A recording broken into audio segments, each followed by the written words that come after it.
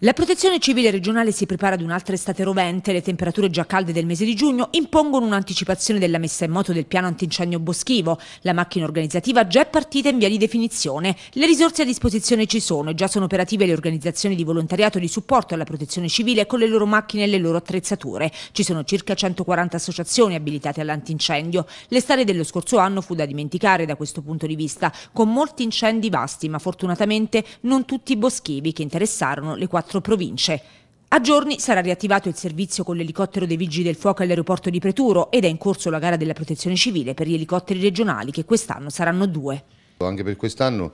eh, ci stiamo organizzando, mm, abbiamo raddoppiato la, il potenziale aereo perché avremo invece che uno due elicotteri regionali, eh, oltre all'elicottero del Coau nazionale che sarà a Preturo l'Ericsson, quindi mh, poi avremo un ulteriore mezzo aereo mh, in casi eccezionali dalla, da parte dei Vigili del Fuoco che fa stazione a Pescara. Ci sono insomma le convenzioni sempre con le associazioni, con le organizzazioni di supporto che sono abilitate, in questo senso come siete messi? Allora, stiamo chiudendo la nuova convenzione, in ogni caso eh, siamo in prorogazione della vecchia,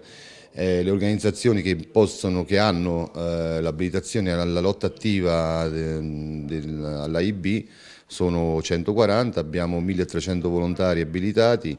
eh, 150 mezzi, oltre 150 mezzi a terra, quindi il potenziale è molto molto alto, eh, quest'anno l'abbiamo quindi incrementato in maniera sensibile, stiamo adesso in questo momento eh, organizzando, facendo, mandando eh, tutte le organizzazioni le procedure operative per quanto riguarda le attività di avvistamento, sorveglianza e spegnimento. Intanto domani parte il corso di formazione per operatori di sala operativa unificata che lavoreranno in sinergia con i vigili del fuoco ma con una preparazione maggiore, sempre in relazione all'antincendio boschivo. Quest'anno stiamo formando gli operatori di sala operativa che è tutto il nostro personale che ha lavorato costantemente anche nelle stagioni pregresse all'attività AIB in sala operativa, ma stiamo facendo una specializzazione che è tesa alla formazione, così come prevista dal decreto del Presidente del Consiglio, per la formazione di operatori di sala questa formazione prevede espressamente diciamo, delle materie che sono quelle legate alla meteorologia, all'attività IB, alla componentistica vegetazionale del suolo per capire meglio quelle che sono le attività che va a svolgere il personale sul campo.